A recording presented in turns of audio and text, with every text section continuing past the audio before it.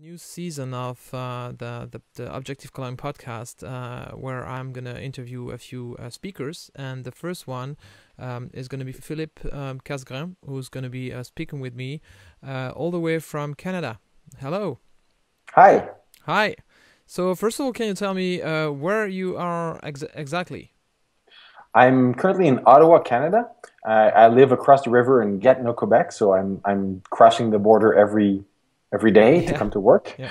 Uh, but uh, the company I work for is called the Lightspeed POS, uh, and that means Lightspeed Point of Sales. And what it what it does is um, uh, create point of sale software for uh, Mac, but that's based on Mac and iPad and um, iPhone as well and iPods. And we do sell into uh, all the sorts of retail shops, small small shops, big shops, restaurants as well. We have a new office in Ghent, Belgium, so yeah. on the other side of the pond. And uh, that's where Lightspeed Restaurant is based. So if you're starting a restaurant business or know somebody who starts a restaurant business, take a look at Lightspeed Restaurant. Cool. Uh, yeah, Belgium for the win. Uh, yes. um, so let's stop talking about Belgium and and and speak uh, a, a, little bit about uh, about yourself. Uh, I, I introduce you, uh, but maybe you can tell us a little bit about um, what you've done in the past. So for about eight years, I worked on Corel Painter, which is a software designed to paint with natural media on a computer screen. Think of Photoshop, but for artists and for the blank page. Uh, that was a lot of fun. It taught me a lot about image editing and all the software that goes on with this. So after that, I started working at a company called Transgaming, and what they did is, uh, or they still do, is port Windows games to Mac and Linux. So I learned a lot about a lot about Linux, and I learned a lot about operating systems. And some of the games I worked on: uh, Dragon Age for Mac, Dragon Age 2, FIFA 2012, The Sims. Um, Eve Online, if you're familiar with these games as well, they're all uh, games that run on Windows, but also run on the Mac thanks thanks to the Cider technology, which is a port of the Wine technology, but for Mac with an optimization on graphics. So that was that was very very interesting. And after about three years, I found myself um, in a lull, and I started working here at Lightspeed Retail, working on uh, point of sale software for uh, for Mac. And the really cool thing is um, at Lightspeed, I work in Cocoa all the time. That's really why I, I switched because working yeah. working on, on on wine and cider is is very fun in an operating system type of way, but you're working at a very low level okay. um, in C and uh, and assembly. And uh, I kind of like to work in Cocoa a lot, and uh, now I work in Cocoa as my day job. So you know, two thumbs up. yeah. Well, I'm gonna put two thumbs up for my company as well, as Seven Principles, because one of the reasons why it's gonna be very, very hard to make me move out of this company is that we work with um, a lot of time the latest stuff, and like since August we work with Swift. Um, so nice. if you're gonna offer me a job where I have to write Objective C, I might be a little bit sad. Uh, oh well, it's not that bad. It's not yeah. that bad, I know. But when you've been working, and I know, I mean, I, am not. Don't get don't don't get me started on Swift because we all love the SourceKit, uh, whatever bug that crashes on us the whole day long. But uh, yes. uh, it's it's pretty cool to be working with uh, managers who, who actually allows us to do um, this kind of stuff, but also the conference. And now actually we started a podcast, which we, which we record uh, from from from work. Anyway, it makes Very me nice yeah, it's it's pretty cool actually. So it makes me think um, about you. You spoke a little bit uh, a, lot of about games. It's very interesting because you're probably gonna have a lot of to discuss with uh, Max uh, from Max Chris from Boinx because this guy is doing for one thing he's doing video with uh, is working on Boinx TV, uh, doing mm-hmm. a lot mm-hmm. of video and and so speaking about nerdy stuff and not necessarily Cocoa. Um, he knows a lot of, of stuff. Uh, and low level uh, image processing. Yeah, yes, those are all like a lot that. of fun. Yeah, and uh, he also um, um, does a lot of, of stuff like OpenGL and things like that. So um, it's uh, pretty interesting. At Transgaming, there were two teams uh, for development. There was the graphics team, which did uh, OpenGL, sorry, DirectX to OpenGL, so the 3D API from Windows to OpenGL. So that yeah. was that was really our strength at Transgaming was uh, to translate these uh, at runtime and in real time and really really fast and being able to do it uh, without losing too many frames per second. Okay. Uh, so there was a graphics team and I was at a core team, which is everything else. so you know, m- memory, networking, uh, file system, mm. input. Uh, device management, all of this was on the core team, and we, I didn't touch a whole lot of graphics, but I I so desperately wanted to learn OpenGL, but eh, it's hard. yeah, mm, it is, anyways. But um, um, makes me think a little bit about some people at Apple that are moving from uh, like uh, CoreOS to then UIKit and then other stuff like that. Um, yes. Um, it's it's it's it's very interesting and uh, and and and certainly you learn a lot of stuff when you work with the very low level stuff. But uh, I can imagine that after a while you just want to do the the the more I would say normal stuff, regular stuff, like uh, yes. modern stuff uh, with Cocoa. Anyway, that, that that that opens up a lot of talks with Rentzsch as well, with uh, Jonathan well, Wolf Rentzsch who's going to be at the conference as well, uh, speaking about uh, old school stuff. Um, this guy has been around for a while.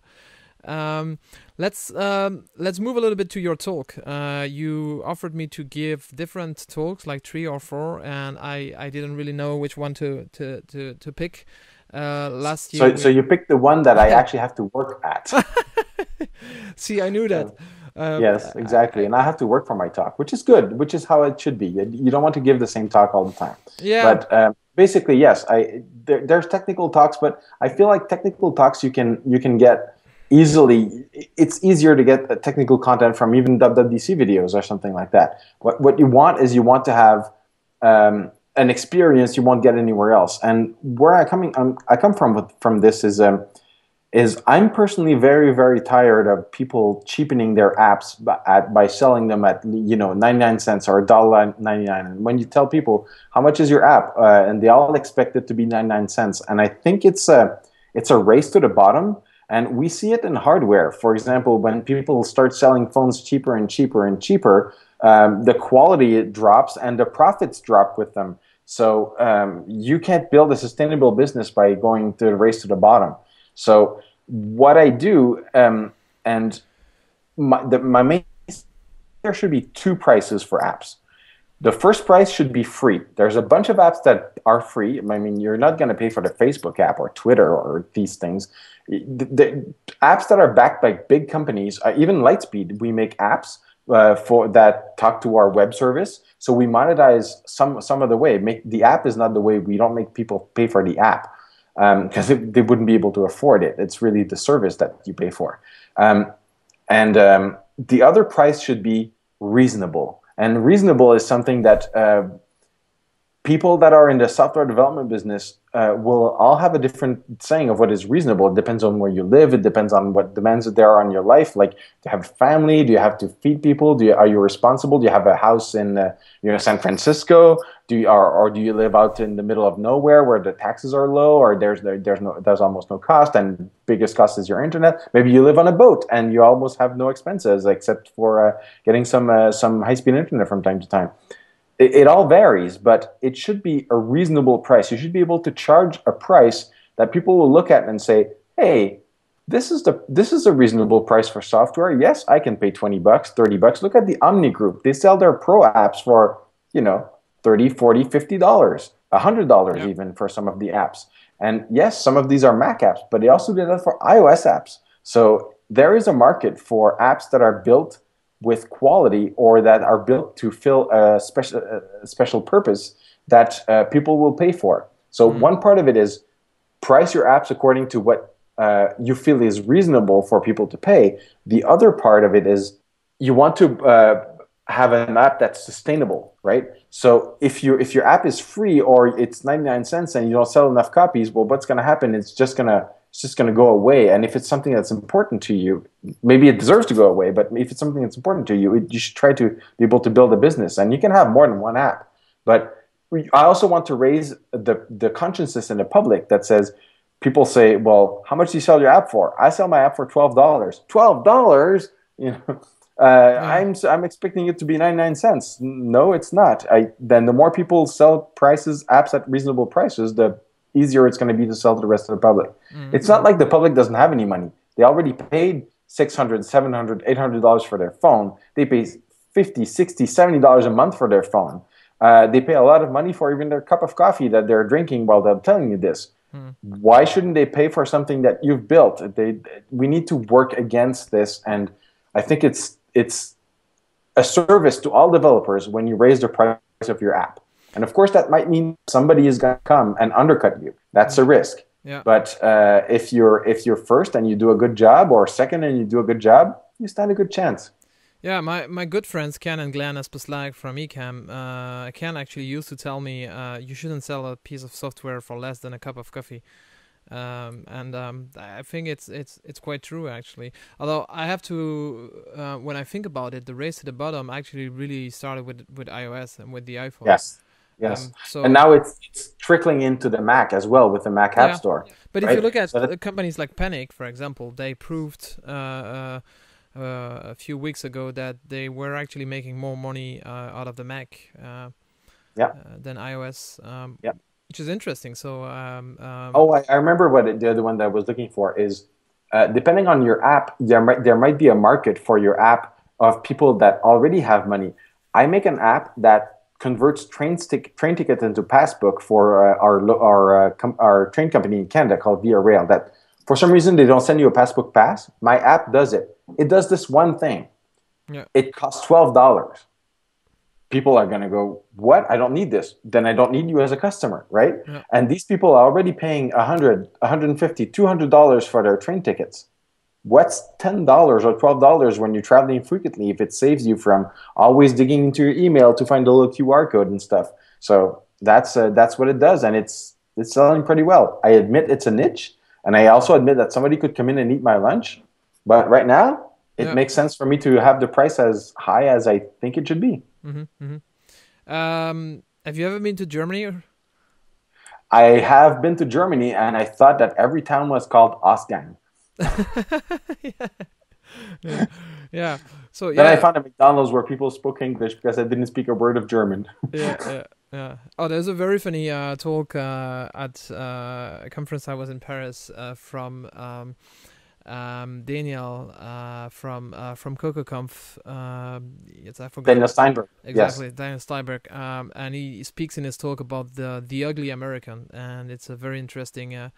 Uh, uh, he's he's paraphrasing uh, a book and uh, speaking about the American, which is visiting Paris, and the first thing they do is go to Starbucks, and the second thing they do is go to McDonald's. And when they come back home, everybody asks them, "So how was the food uh, um, in in France?" Uh, about the same. But of course, Yeah, yeah. at least have a quickie burger when you're going to France. Yeah, yeah, yeah, exactly. But yeah, we we don't we don't we don't have quick in uh in Germany, so Yeah. You have to stick with other stuff. Anyways, uh, speaking about that, the uh, I, I might remember remind everybody that the the one of the good thing of Objective Cologne is the full uh, uh the flat rate on food and on uh, and on drink. So which is I think uh, the way uh, it, it it should always be, uh, and also especially the the dinner, the conference dinner, it's also full on on beer and wine, which always surprises my catering, because the ability of developers to drink beers is actually uh, always surprising to them. Um, but uh, that's what we call a flat price. So uh, Yes. so. Um, It is also Germany, so beer and Germany, I think, go well together. I was listening to your French uh, podcast like uh, Yes. like three hours ago, and at the end, your uh, uh, colleague, uh, the other Philip, said the last time he was in Germany, he doesn't even actually remember because of the good beer. It was probably in October too, so yeah, yeah, yeah. Well, anyways, it was uh, fun to chat with you, uh, and um, I I can't wait to have you here uh, in Germany late June. Uh, I look forward to it very much. 25th. Uh, and it's also for me very interesting because uh, it's also inviting yet another conference organizer, just like I had Scotty last year. So it's it's becoming some kind of a tradition that I uh, that I'm going to try to invite every year uh, as a speaker somebody who organizes a conference. Um, I for, for people who don't know, I organize a conference called NSNorth, Yeah. which is its in its third year this year. Uh, it's happening uh, April 10th to the 12th uh, here in Montebello, Quebec, so about an hour's drive from here. Uh, and I also gave a talk at AltConf last year uh, during the WWDC that about building communities. Oh, So if you want to build, um, uh, drawing on my experience as a Cocoa Heads organizer and also a conference organizer, how to how to work to create your own little community because it's really nice when you can go to some place where somebody like you has created a conference and and you bring a community together. That's awesome. But Yeah. what if you could do it in your own hometown? in your own area and do how would you start with this that's kind of mm. where where I was going for with this and mm. and it's been very well received so um, I I look forward to to going to uh, Cologne and actually meeting a whole lot of new people uh, yeah. it's uh, it's it's going to be hopefully there's going to be a lot of uh, cross pollination across the pond and I yeah. really look forward to that I mean, uh, uh, Scotty did a talk about community last year at at um, at, uh, at Objective Cologne, and uh, this is what it's all about. This is the reason why we build conferences. It's uh, not because we want to become a millionaire. That doesn't actually really work uh, uh, it's because we just want to bring people together, and it's a, it's a lot of fun to organize. Uh, yes. Um, so I hope uh, it's uh, gonna keep we're gonna keep on doing those those stuff in parallel to our work as a as a developer because uh, and it's also I love conferences. I try to only go to conferences that are organized by developers for developers. Um, I try to avoid the, the or by somebody being in the industry. I try to avoid the conference ran by conference companies. Um, there's there that aspect to it, but on the other hand, if you want to uh, broaden your horizons a little bit, you need to uh, go to other kinds of conferences too. Maybe. Uh, maybe that would be the last interesting word. Anyway, thank you very much. Uh, see you soon in Cologne. And uh, yeah, um, so uh, thank you for being with us, uh, with me. And thank you for having me. All right. Bye bye. Au revoir. Bye. Au revoir.